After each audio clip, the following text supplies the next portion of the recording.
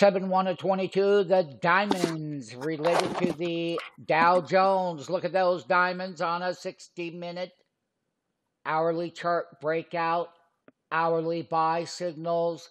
Look at that positive hourly volume across the board. This was the 4th of July rally in the diamonds.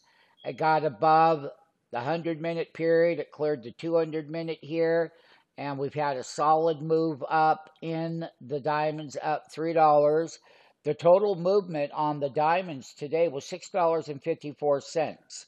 They opened at 307, they made a high of 311.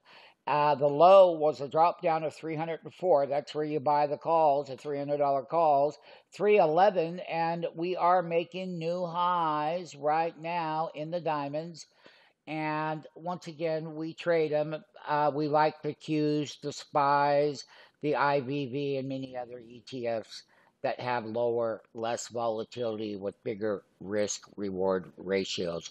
Sign up for the free five day trial. DailyStockCharts.com, home to traders around the world and everyone alike. Go ahead and sign up for the YouTube channel alerts. Don't pass that up. Free five day trial is knocking at your door. Sign up now.